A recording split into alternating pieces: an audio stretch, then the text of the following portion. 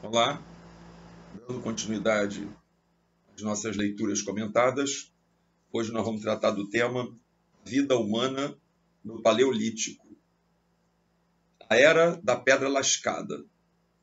Paleolítico, da Pedra Antiga ou da Pedra Lascada, é o nome que se dá ao período da história humana que vai do aparecimento do gênero Homo, há cerca de 2 milhões de anos, até o início da prática da agricultura, ocorrida há cerca de 10 mil anos. O Paleolítico foi um período muito longo. Durante quase 2 milhões de anos, os dominídeos foram se adaptando à natureza.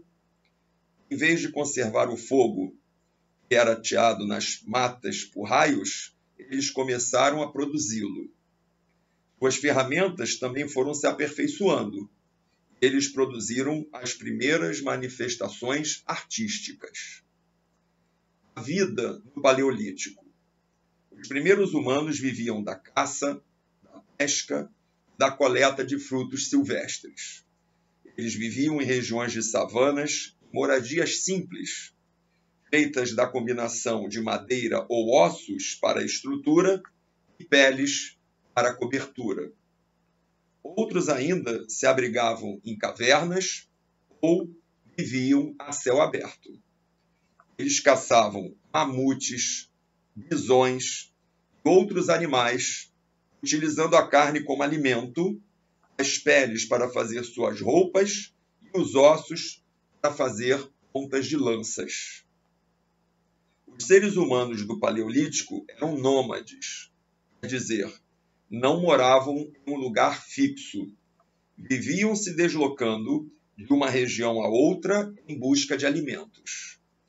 Eles ainda não domesticavam animais e também não praticavam a agricultura. As ferramentas do Paleolítico. Os seres humanos evoluíram a partir de uma característica particular: sua capacidade intelectual com sua inteligência, foram capazes de criar ferramentas que facilitaram a sua vida. As ferramentas fabricadas pelos primeiros grupos humanos foram facas para cortar a carne e as peles, raspadores os quais separavam a pele dos animais, a fim de utilizá-la como vestimenta e abrigo, pontas de lanças e de flechas para caçar, agulhas para costurar, arpões de pesca, entre outras. A maior parte das ferramentas do Paleolítico era feita de pedra, mas também se utilizavam a madeira e o osso. Um passo importante nesse período foi o domínio do fogo, que ocorreu por volta de 500 mil anos atrás. Com o fogo, foi possível afugentar os animais, iluminar os caminhos e as moradias à noite, e cozinhar. O Neolítico a Revolução Agrícola, a Era da Pedra Polida. Por volta de 8 mil anos antes de Cristo, grupos humanos começaram a fabricar armas e utensílios com pedras polidas, iniciando o período Neolítico, ou seja, da Pedra Nova, período da Pedra mais recente, mais perto de nós, apesar de ser ainda muito tempo atrás. Alguns desses utensílios eram enxadas, foices, pilões e machados. Os mais antigos foram encontrados no Oriente Médio. A Revolução Agrícola. Acredita-se que as mulheres eram, em geral, responsáveis pela coleta de raízes e frutos. Assim puderam observar as sementes das plantas, uma vez enterradas no solo, davam origem a novas plantas. A agricultura teria sido, então, uma invenção obtida por essa observação. Assim, além de caçar, pescar e coletar, os seres humanos começaram a plantar e a colher. O cultivo das primeiras plantas ocorreu no Extremo Oriente e no Crescente Fértil. É uma região localizada no Oriente Médio. Essa região ela se estendia do vale do rio Nilo, no Egito, até as margens do rios Tigre e Eufrates, onde atualmente se localiza o Iraque. Com a descoberta da agricultura, aqueles seres humanos que eram nômades, que viviam andando atrás de comida, atrás de alimentos, agora puderam estabelecer apenas um lugar. Porque a partir do momento da agricultura, mais tarde eles vão desenvolver também o chamado pastoreio, eles vão domesticar animais, eles vão criar animais para o seu próprio sustento. Com isso, então, o ser humano deixa de ser nômade e passa a ser sedentário, aquele que permanece no mesmo lugar.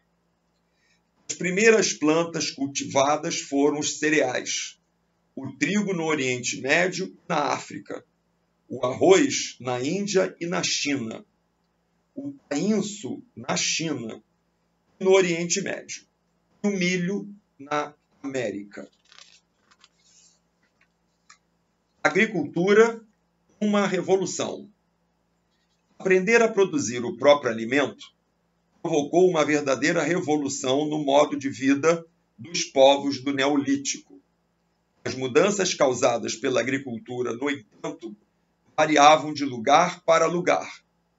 Além disso, a prática agrícola não fazia parte da vida de todos os grupos humanos.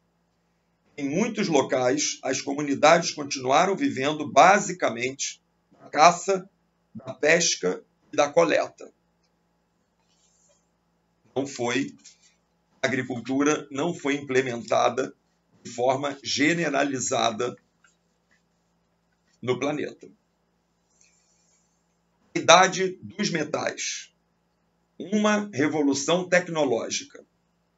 Até a invenção da metalurgia, isto é, a técnica de trabalhar os metais, as comunidades fabricavam os objetos com pedras, ossos e madeiras há 8 mil anos, na região compreendida entre o Egito e a Índia, vários povos começaram a usar o metal para fazer ferramentas e utensílios.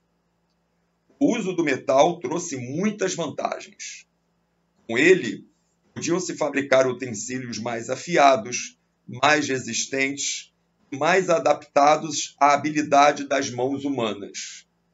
As armas se tornaram mais potentes aumentaram a eficiência da caça da pesca. No entanto, mesmo com o uso de metais, os instrumentos de pedra continuaram a ser fabricados. O tempo do cobre e do bronze. O primeiro metal utilizado foi o cobre, cerca de 8 mil anos, para fazer estatuetas e enfeites. Por ser um metal mole, era pouco usado na fabricação de armas e ferramentas. Por meio de golpes, os humanos conseguiam modelar o metal à forma desejada. Mais tarde, passaram a usar o fogo para fundir o cobre. O metal em fusão era despejado em recipientes com cavidades e assumia assim a forma esperada. Mais duro e resistente que o cobre, era o bronze, que passou a ser usado cerca de 6 mil anos atrás para produzir armas e ferramentas, entre outros objetos. O cobre é uma liga metálica obtida da fusão de cobre com estanho. Verdade, aqui o livro está errado. O bronze é uma liga metálica obtida da fusão do cobre com o estanho, o bronze. Isso ele fica mais resistente. Muitos povos, como os egípcios e os mesopotâmicos, conseguiram aumentar seu poder militar graças ao conhecimento do uso do bronze, sobretudo na fabricação de armas. Aqui já está se mencionando duas sociedades virão mais adiante, porque por enquanto nós estamos estudando ainda o período da pré-história. E no período da pré-história, essas duas sociedades, tanto do Egito quanto da Mesopotâmia, ainda não tinham sido formadas. Mas ele aqui já está dando uma adiantada no tema para vocês perceberem a importância da descoberta dos metais. Por conta dele, alguns povos, obtendo esse conhecimento, vão se tornar mais fortes, mais poderosos do que outros povos. E com essas armas, vão submeter esses outros povos, vão vencer esses outros povos. Os objetos de ferro. O uso do ferro era raro e só se difundiu em torno de 1500 a.C. Nesse momento, descobriu-se que o minério de ferro retirado das jazidas, ou seja, das pedras, misturado a, outros elementos químicos, como o carbono e o manganês, aquecido em altos fornos, produz ligas bastante resistentes. Com ferro, é possível produzir armas mais duradouras, aperfeiçoar instrumentos agrícolas e criar novos tipos de utensílios e ferramentas, como o alicate.